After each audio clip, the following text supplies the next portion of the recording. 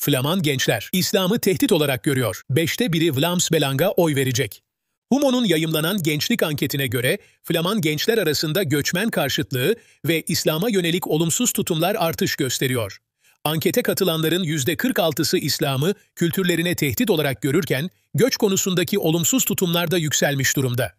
Gençlerin %46'sı Flandre'nin yeni göçmenleri kabul etmemesi gerektiğine inanıyor. Bu eğilimler aşırı sağ Vlaams Belang'ın gençler arasında artan popülaritesine yansıyor. Genç seçmenlerin %22'si bu pazar Vlaams Belang'a oy verecek.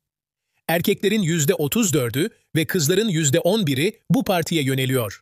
Vlaams Belang Parti lideri Tom van Grieken, NVA'lı Bart de Wever'i geride bırakarak en popüler politikacı oldu. Diğer partiler sıralamasında %13 ile Vooruit, %12 ile NVA ve %11 ile PVDA dikkat çekiyor. PVDA, 2020'de yalnızca %4 oy almışken şimdi SDNV ile aynı seviyeye ulaştı. Gençler ayrıca gelecekleri konusunda da karamsar bir tablo çiziyor. %47'si ebeveynlerinden daha kötü bir konut durumuna sahip olacağından endişe ediyor. %39'u iş güvenliği, %55'i ise çevreyle ilgili endişelerini dile getiriyor.